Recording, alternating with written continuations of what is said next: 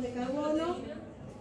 Sí, el adulto, claro. ¿eh? Normalmente en el adulto tenemos más hidratos de carbono y ponerle 20 y 20 de proteínas En los chicos es eh, recomendable que el porcentaje de proteínas sea mayor que ese 20%, ¿eh? porque justamente van a ser después los, los sustratos, esos aminoácidos que reciben van a ser los sustratos para permitir el crecimiento, el tamaño de todos los tejidos y esa llegada de aminoácidos al sistema nervioso central estimula la liberación de hormona de crecimiento. ¿Sí? Bueno, y después hormonas, bueno, eh, la hormona de crecimiento y la somatomedina disminuyen su liberación por retroalimentación negativa. Es lo que dijimos antes. Los glucocorticoides siempre permiten, siempre son necesarios, sin embargo, un aumento de glucocorticoides en forma crónica disminuyen la liberación de hormona de crecimiento. Y esto por ahí lo pueden ver en chicos que a lo mejor han tenido cuadros de leucemia o alguna otra enfermedad crónica durante la niñez o este periodo de crecimiento de los 8 o 10 años, que en general van a tener una talla un poco inferior a eh, la media o a lo que indica la talla. ¿sí? por esta liberación crónica de glucocorticoides. Bueno, y después estrógenos, andrógenos, hormona tiroide, insulina, cumplen un papel permisivo en las distintas etapas de crecimiento. Es decir, tienen que estar. Tienen que estar para que todo el proceso ocurra normalmente. ¿Sí? Bien. Entonces, si un chico va eh, y los valores que ustedes miden de talla, de peso, índice de masa corporal, velocidad de crecimiento y demás, caen todos dentro del rango preestablecido, ya está, está todo funcionando bien, ¿sí? no, no, no busquen cosas extrañas. Eso tienen que empezar a indagar cuando se les va del percentilo alguno de estos, de estos datos antropométricos. ¿sí? Bueno, acá otra vez un eje para que lo vean de diferente manera. Fíjense qué otra cosa estimula también. ¿eh? Aparece la leptina, ¿sí? la grelina, y los que inhiben ácidos grasos libres, inhibe la IGF, inhibe hormona de crecimiento, inhibe somatostatina. Y de este lado todo lo que estimula. Y todo esto que es supra este está bastante resumido. Lo que, fíjense, acá está puesto positivo y acá negativo. Esto cuando ustedes hagan los ejes no se olviden de poner más o menos. O hagan una codificación de que la línea completa se estimula y la línea de puntos es inhibe. O la línea verde es estimula y la roja es inhibe. Se olviden de poner el efecto hace. Muy bien. Bueno, la secreción de esta hormona de crecimiento eh, es pulsátil, ¿sí? pulsitos, los cuales se hacen más amplios y frecuentes al comienzo del sueño profundo. ¿sí? Es decir, a la medianoche ¿eh? normalmente vamos a tener el pico de hormona de crecimiento. ¿ah? Y niveles mínimos durante la mañana. Y después la concentración plasmática va a variar en los distintos momentos de la vida. Pero fíjense que acá está graficado 5 años, 10 años, 15 años, 20 años. Es decir, hay bloques. ¿Eh? Fíjense que el máximo de hormona de crecimiento lo tenemos acá entre los 15 y 20 años. Y luego ya empieza a disminuir. ¿Eh? Ya llegamos al adulto, a esa edad. Y a partir de ahí empezamos eh, el declinamiento. Concentración normal hasta 5 nanogramos circula, a pesar de que es una hormona proteica, circula unida a la proteína fijadora de hormona de crecimiento. Y esto permite que esta proteína circulante sea un reservorio ¿eh? y que no se pierda eh, por orina. Su vida media es corta, de 6 a 20 minutos. Bueno, ¿estamos hasta acá? Bueno, mecanismo de acción, a ver si se ve. Fíjense, es un receptor que tiene también actividad tirosinquinasa, ¿sí? ¿Semejante a quién? A la insulina, muy bien. Y fíjense cómo también estimula algunas vías que por ahí ya han visto, ¿eh? la vía STAT, la maquinasa y eh, influye también sobre el sustrato del receptor de insulina. Están las, las acciones, ¿sí? de manera que vamos a tener un efecto sobre la captación de glucosa, pero también un efecto importante de esta hormona sobre la transcripción de genes, que es justamente la función eh, sobre cada tipo celular, de que cada célula sintetice las proteínas características de su funcionamiento. Bueno, fíjense, dice, las respuestas iniciadas por esta hormona de crecimiento pueden ser inhibidas por factores supresores. En esta diapositiva no se muestra, pero ahora los, los vamos a ver en otra. Es decir, esta fosforilación o esta activación de las tirosinquinasas, si está activada en forma desmedida, va a conducir a una proliferación exagerada de este tipo celular. Normalmente todas las células tienen mecanismos de inhibición de esos receptores que son estos SOX, que son elementos supresores. Una de las teorías eh, con las cuales eh, se explica el desarrollo del cáncer es que justamente estas respuestas supresoras por algún motivo están disminuidas o no existen. Entonces dejan liberado el crecimiento y la multiplicación indiscriminada de algún tipo celular. Ahora se los voy a mostrar en otro. Bueno, entonces la acción directa a través de la hormona de crecimiento eh, a través de sus receptores tirosinquinasa.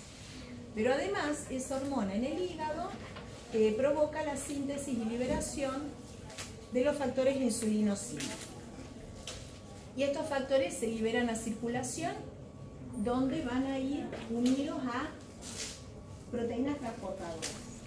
Hay muchas proteínas transportadoras de estos factores insulinos todas con distinta afinidad. Entonces vamos a ver que la liberación de estos factores en los distintos tejidos cambia, es distinta. Bueno, se las denomina también somatomedinas. Otro término, factores de sulfatación. Es todo lo mismo, nos estamos refiriendo a lo mismo.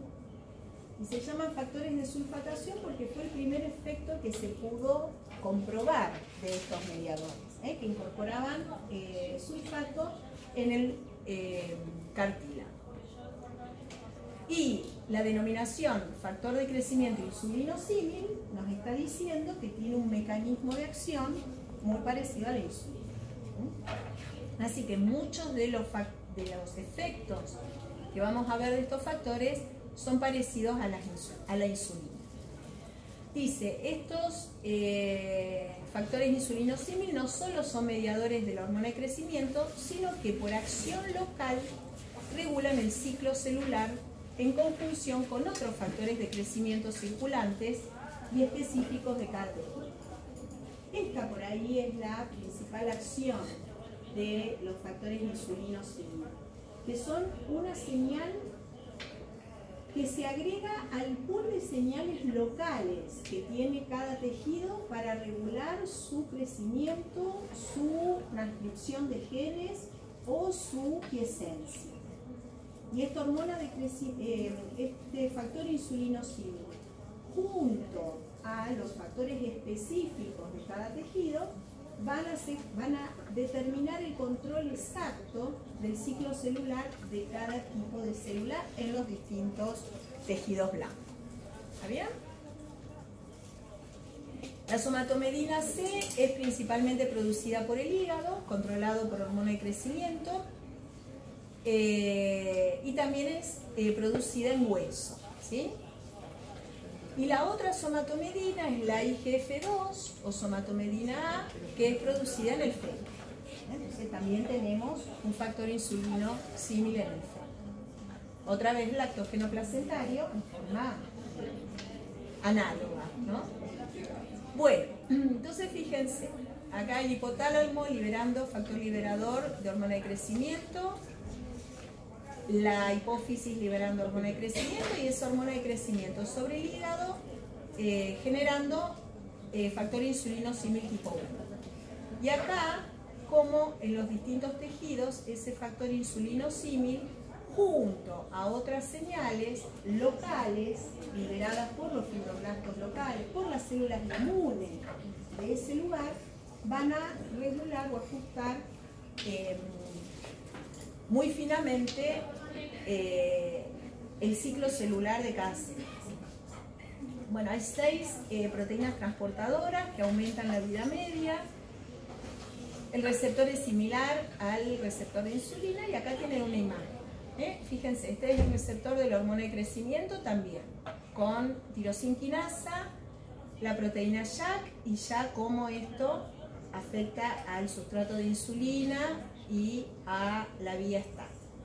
Acá sí aparecen los SOX, ¿ven? Tiki y Tiki, que serían los que están eh, generando una regulación de ese grado de activación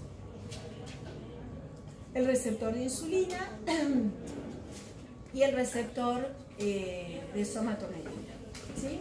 Lo mismo, ¿eh? también. El receptor eh, tirosinquinasa y los mismos sustratos intracelulares. Las vías finales son la regulación de la proliferación y crecimiento, la regulación de la síntesis proteica, ¿sí? y la regulación de la actividad de estos SOS. ¿Vamos? esta vía, acuérdense también que es la que media la exposición de los glúteos, en el caso de que las células tengan Bueno, sí. Y he considerado un eh, sí, una hormona o un factor parácrino, eh, porque es el combo de señales locales, lo que va... Sí, sí, viaja por sangre. Exacto. Pero sí lo puede considerar una hormona, eh, asociada a la hormona de crecimiento o en relación directa con la hormona de crecimiento. ¿Sí? Bien. Bueno, entonces, acciones biológicas de hormona de crecimiento, bueno, tróficas, por crecimiento óseo en longitud, de órganos internos, estimular la división celular. Tiene que ver con eh, aumentar la masa muscular ¿sí? o masa magra y disminuir el tejido adiposo. Y sobre el metabolismo, influye en el metabolismo intermedio y en el metabolismo mineral. ¿Sí? Eh, en cuanto al metabolismo intermedio, ¿qué pueden decir de la hormona de crecimiento? ¿Qué quiere decir metabolismo intermedio? Fomenta el anabolismo. Fomenta el anabolismo, bien. Bien, eso, más detalle. Síntesis proteica. Hipólisis. Y nos queda otra macro, otro grupo sobre los hidratos de carbono ¿qué hacemos. Clara. Es eh, una hiperglucemia. ¿sí? Favorece la, eh, el aumento de glucosa en sangre. De manera que todos los tejidos, además de sustrato aminoácido, ¿sí? tengan fuente de energía para generar ese anabolismo. Así que por ahí lo han mencionado como una de las hormonas hiperglucemiantes. Bueno, con respecto al metabolismo mineral, retención de nitrógeno, fósforo, calcio, potasio, todos los componentes del hueso, aumenta la absorción intestinal de calcio, aumenta la fosfatemia. Bueno, y acá tenemos, ¿sí? Aumenta la producción hepática de glucosa, disminuye la utilización periférica, de manera que tiene esa acción hiperglucemiante, aumenta la lipólisis y aumenta la masa muscular y ósea, eh, aumentando la síntesis proteica. ¿Sí? ¿Qué pasó?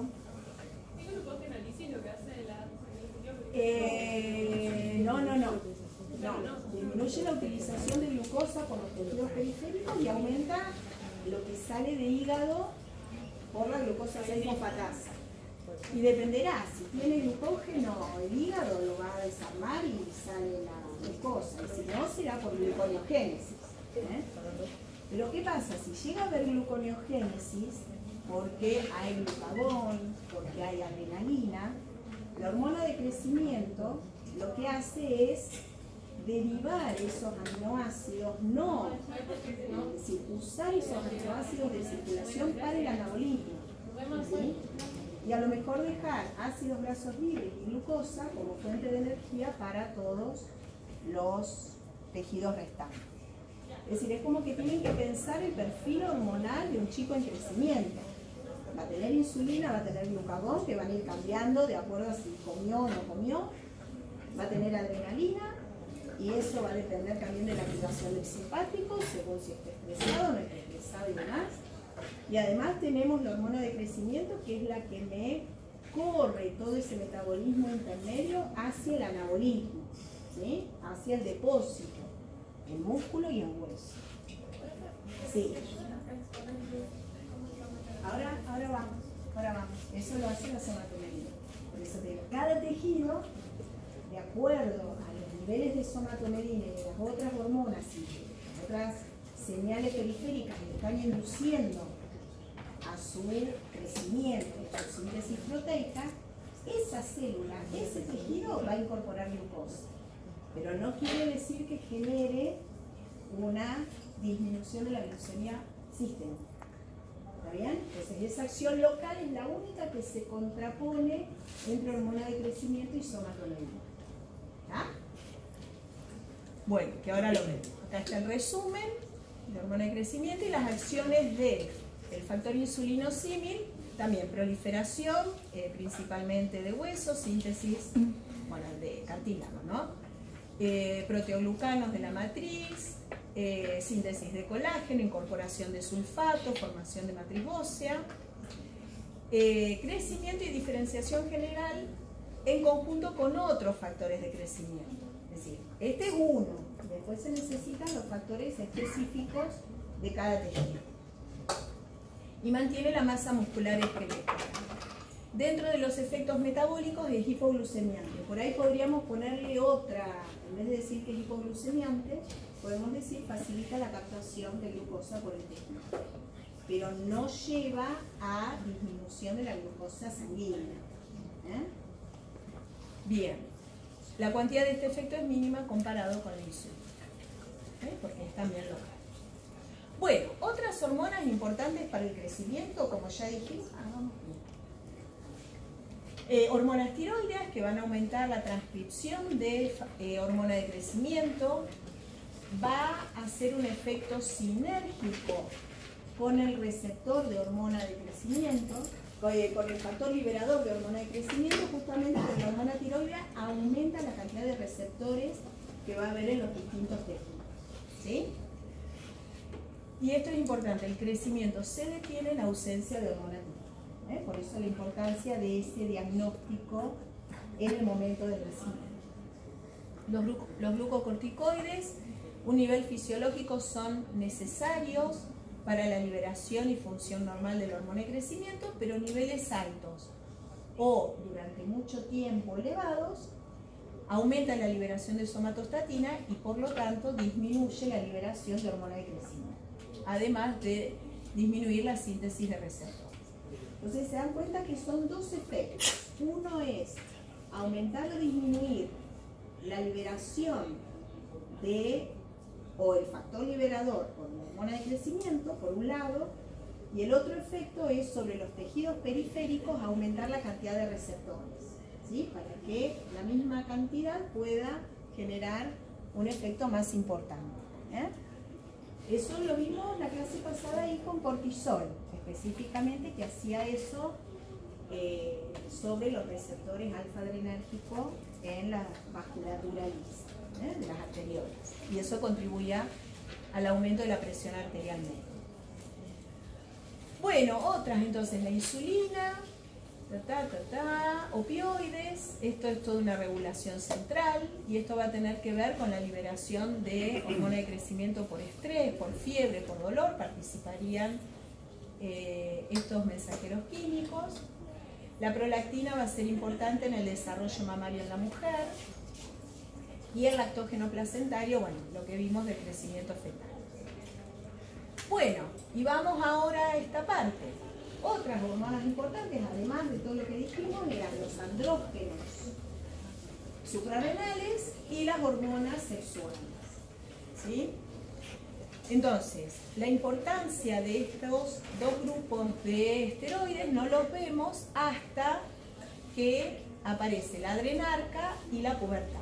Fíjense en este gráfico, los valores de actividad gonadotrófica son altos en el feto, disminuyen en los primeros años de vida y ese eje queda achatado durante toda la niñez y se va a volver a activar en el momento de la pubertad. Pero previo a la pubertad, generalmente previo a la pubertad, pero puede haber un solapamiento, tenemos lo que se denomina adrenarquia, que es este periodo en donde los andrógenos suprarrenales están aumentando o aumentan. Fíjense acá que a los 8 años, 7-8 años se produce un aumento importante de los niveles de dehidroepiandrosterona en sangre. ¿sí? Y esos valores se van a mantener elevados, ya indicando la maduración de la zona reticular de la corteza suprarrenal. Y ahora nos metemos un poquito en esa, en esa última parte de la corteza. Y después volvemos a esto. Entonces, se refiere al momento, vuelve a aumentar la dehidroepiandrosterona. Ponemos vuelve a aumentar porque ya en el momento, en el periodo fetal, hubo aumento, niveles altos de dehidroepiandrosterona. ¿sí? Eh, esta dehidroepiandrosterona, que es un esteroide con 19 carbonos, no es potente como andrógeno. Sin embargo, cada tejido, con la actividad enzimática que pueda tener para convertirlo a testosterona y dehidrotestosterona, va a regular la actividad de ese andrógeno sobre cada tejido en particular. Entonces ahora, cada tejido, teniendo las enzimas que permiten su metabolización los que van a decidir qué tan potente va a ser el efecto de ese mediador. ¿Se entiende? La enzima clave, y ahora les voy a mostrar otra vez la vía metabólica, para producir esta conversión es la 5-reductasa. ¿sí? Esta dehidroepiandrosterona eh, se sabe que influye en el desarrollo del vello púbico y axilar, en el desarrollo de las glándulas apócrinas, de las glándulas sebáceas, en la composición corporal, en la maduración ósea, en la aceleración del crecimiento, que tienen que ver un poco con esos primeros estadios de tal, ¿eh? en donde se empezaban ya a eh, encontrar diferencias eh, relacionadas a la activación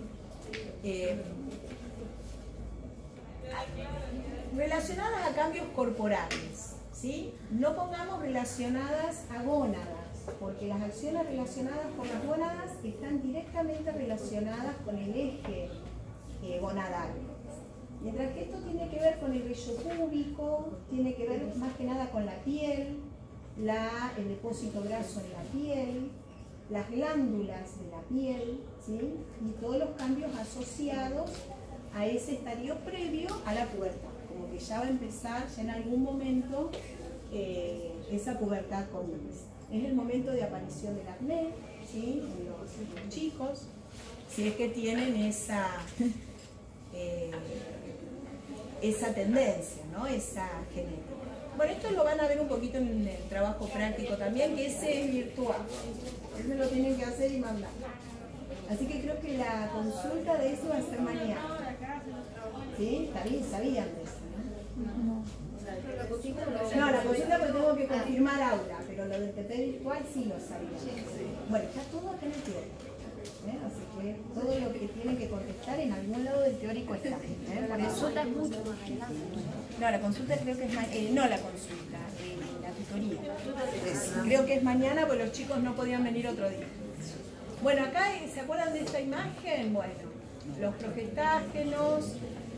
Esta es la zona de los andrógenos, acá está la de hidroepiandrosterona, acá la androstenediona, ¿sí? y ambos por la reductasa pasan a testosterona, androstenediona. Bueno, los estrógenos, que también van a ser importantes porque algunos efectos están mediados solo por estrógenos en ambos sexos, como es el cierre de la placa artificial. Entonces, en este caso, el hueso tiene la enzima que permite convertir el andrógeno en estrógeno. Y la enzima se llama aromatasa. Acuérdense que la vamos a volver a nombrar la clase que viene. Bueno, fíjense. Hola. ¿A qué hora tienen clase? ¿A y media? ¿O no? A las dos.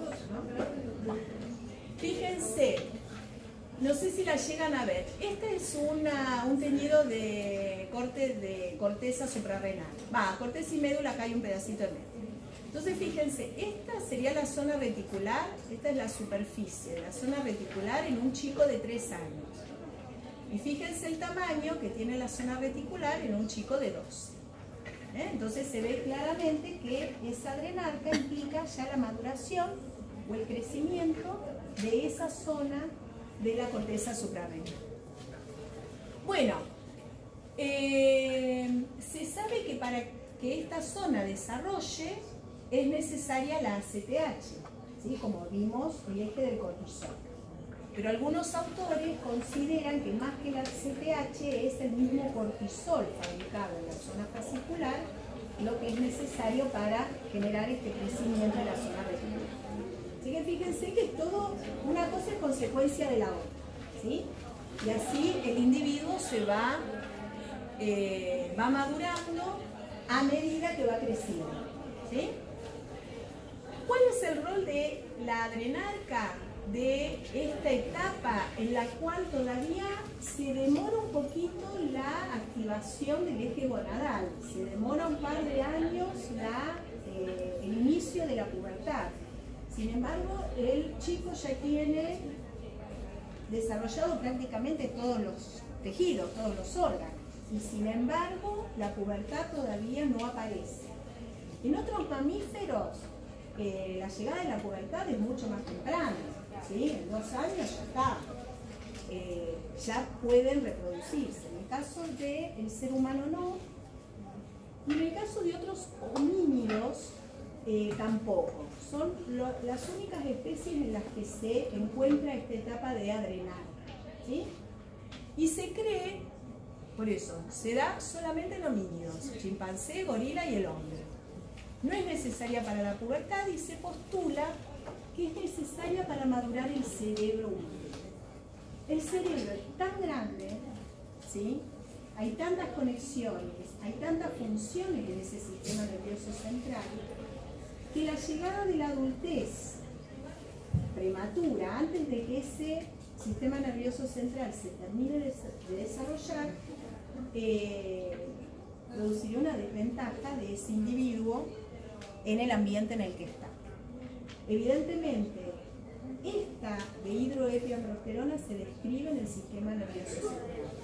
Tiene niveles altos y tiene funciones ya reconocidas en cuanto a la generación de espinas dendríticas, a la conexión de neuronas y sería una explicación muy factible de por qué esa pubertad se eh, posterga un par de años y esta de, eh, hidroepiandrosterona acelera de alguna forma el desarrollo del sistema nervioso central.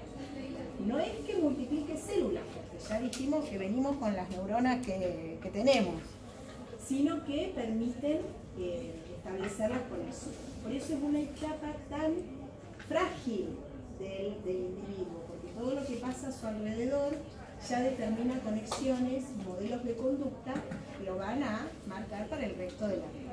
¿sí? Bueno, eso sería bueno, y ahí tenían otra vez las vías por región, para que no se... Bueno, y la pubertad entonces, en las niñas se inicia, dijimos, con la telarca y la maduración sexual culmina en la menarca, que es la primera menstruación. En los niños se inicia con el aumento de volumen testicular y se completa con las primeras eyaculaciones nocturnas. Pero fíjense que eso empieza acá, ¿eh? a partir de este momento. Bueno, la pubertad se caracteriza por el aumento de actividad gonadotrófica.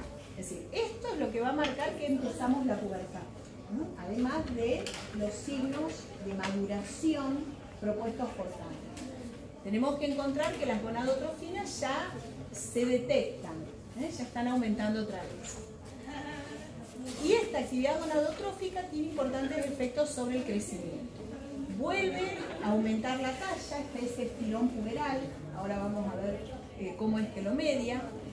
Hay cambios en la estructura ósea, cambios en la composición corporal, ahora sí crecimiento y desarrollo de los genitales, de caracteres sexuales secundarios eh, y desarrollo de la glándula mamária. ¿Está bien? sobre el hueso. Y acá el hueso es el tejido en el cual solamente el estrógeno es el que hace los efectos. ¿sí? Ahora podemos a ver otra, otra eh, consecuencia de eso. Entonces, el periodo infantil se caracteriza por bajas concentraciones de gonadotrofinas. Este gráfico está en la guía de trabajos prácticos. Acá.